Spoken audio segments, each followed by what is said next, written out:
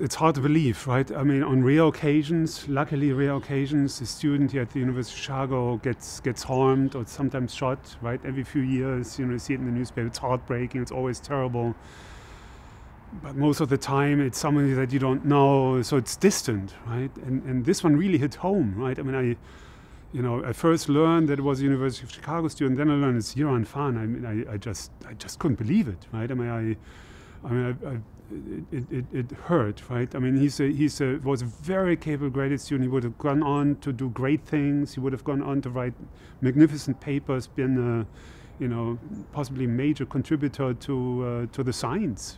And the remarkable thing about him was not only was, did he want to pursue his own interest, he really believed in collective scholarship.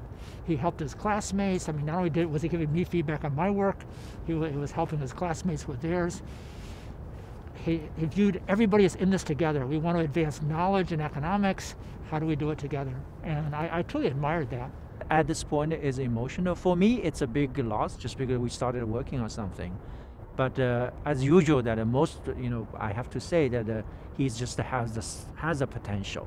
Right? It's just a PhD student.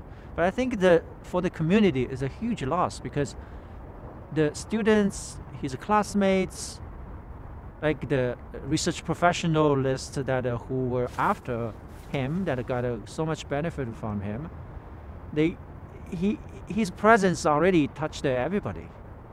I hope that this outpouring of uh, sympathy and support and sorrow will uh, uh, make uh, his family feel less their pain. And we have to go on